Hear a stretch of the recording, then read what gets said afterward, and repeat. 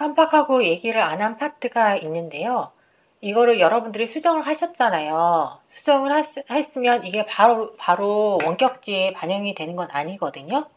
지금 여러분들의 사이트에 가셔서 보시게 되면 Hello World가 안 바뀌어 있는 상황을 볼 수가 있어요. 그래서 이거를 여러분들이 PC에서 변경한 사항이 올라가야 되죠. 그 파트에 대해서 어떻게 하는지를 보여드리면 일단 여기 오른쪽을 보게 되면 오른쪽에 이렇게 별빛 표시가 되어 있는 거는 변경된 내용이 있다라는 의미거든요.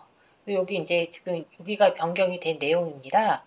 그래서 여기 오른쪽을 클릭을 하시면 팀이라는 메뉴가 있어요. 그래서 이 팀이라는 메뉴에 보시게 되면 여러 가지 메뉴가 있는데 메뉴가 저희가 봤던 그 명령어들 있죠. 아까 체크인 그리고 푸시를 해야지 원격지 올라간다고 했습니다. 그래서 여기서 보게 되면 처음에 commit을 가서요. commit을 하면 local repository, local 저장소에 저장이 된다고 했죠. 그래서 일단 commit을 할게요.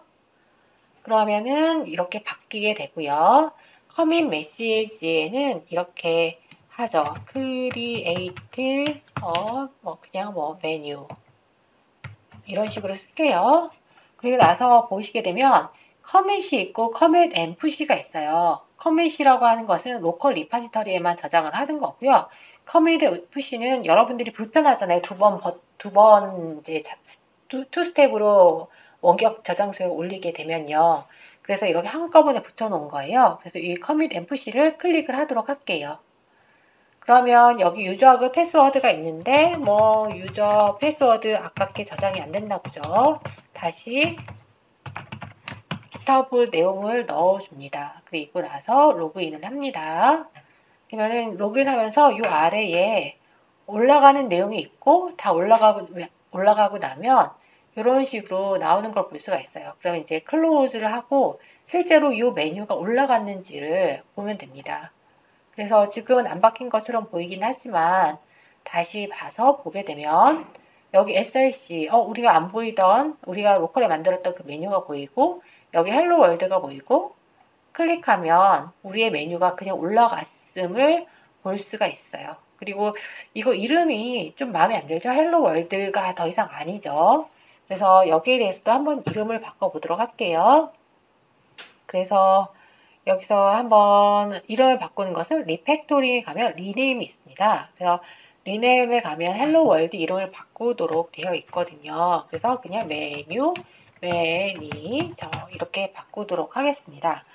이제 이걸 camel case naming convention이라고 하는데요. 이게 뭐냐면 이제 알파벳을 두 개 붙여서 쓸 수가 있고 클래스 이름 보통 대문자로 시작을 하고요.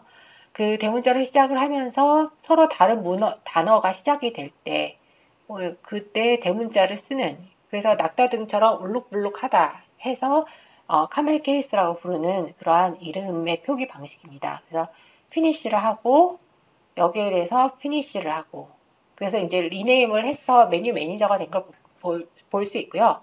commit 메시지에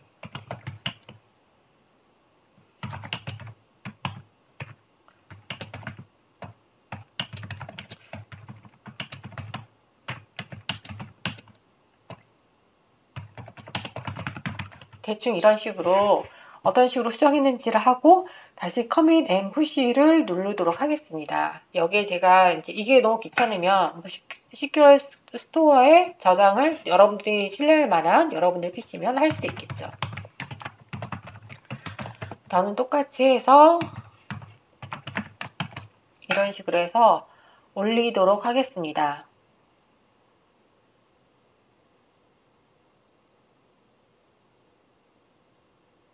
저는 그냥 no 할게요.